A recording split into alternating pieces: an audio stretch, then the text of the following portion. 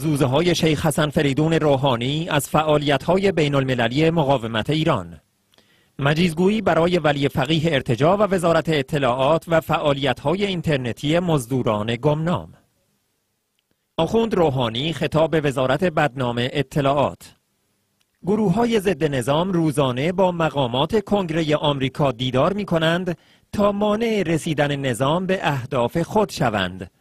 این شما سربازان گمنام و زبده وزارت اطلاعات هستید که باید همه این تحرکات را زیر نظر داشته باشید.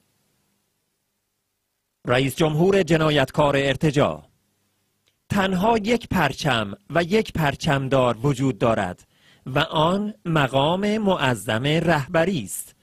به وزارت اطلاعات و نیروهای فداکار آن افتخار می کنم.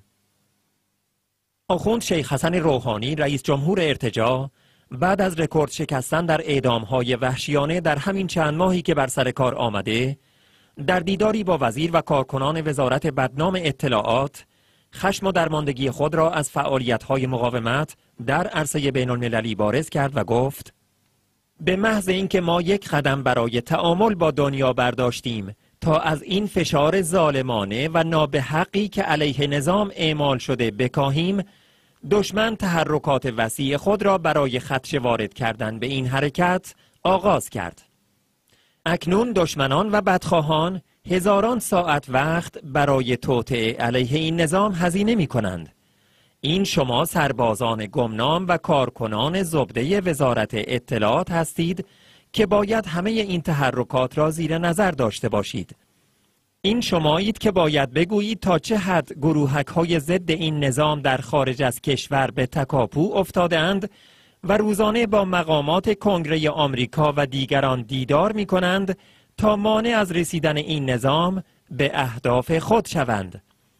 بدون تعارف به وزارت اطلاعات و نیروهای فداکار آن افتخار می کنم.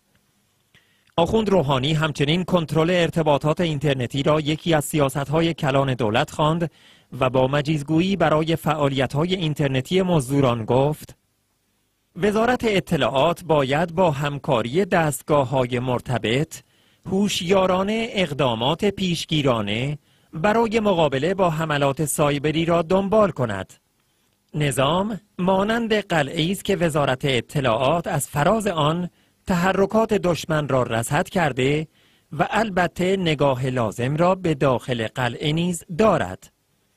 کارکنان وزارت اطلاعات باید وظایف خود را برای حفظ نظام قاطعانه و دقیق انجام دهند.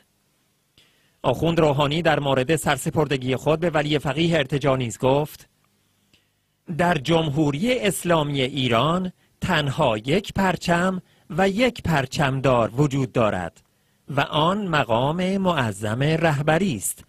و همه باید تحت لوای همان پرچم حرکت کنند و اینکه پرچم دیگری در کشور باشد نه عقلی است و نه شرعی.